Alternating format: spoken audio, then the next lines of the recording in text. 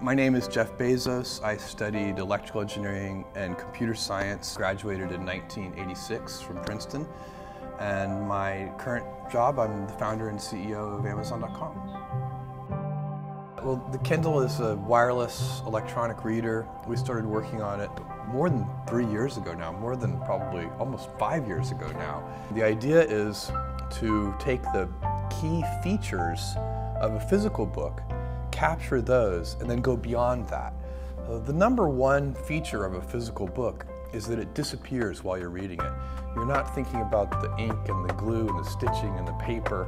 You're entering the author's world and the physical object just goes away. And that's what we wanted to achieve with Kindle, to have a device so simple that it too would disappear and let you enter the author's world. Failure is an essential component of innovation and invention. If you know it's going to work, it's not an experiment. And so if you want to invent, if you want to innovate, failure is part and parcel with that. There's no escape from that. If I were to go back in time and, and give myself one piece of advice uh, as an undergraduate, it would be take pride in your decisions and hard work, but not in your gifts. Celebrate your gifts.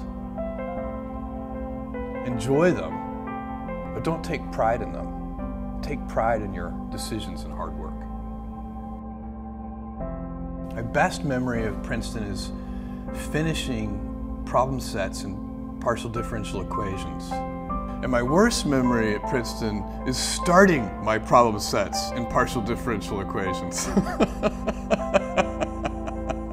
For anybody who is starting, if anybody it's their freshman week and they're starting at Princeton, I think the advice as to what to focus on is pretty simple, which is to figure out, which is not always easy, but try to figure out what you're genuinely interested in and then pursue those things. Alternative techniques might be try to figure out what you think is going to be most lucrative or and I think those techniques tend not to work.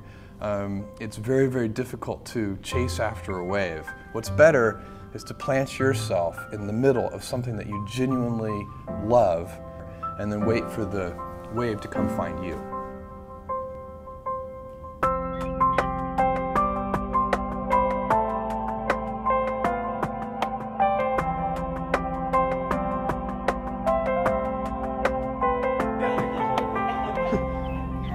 That just makes the video better, you guys. You realize that, right? If there's a little bit of laughter that you can't quite cut out. It's like the Today Show and the cameraman can't help but laugh. And then the boom drops in the Right. frame, right?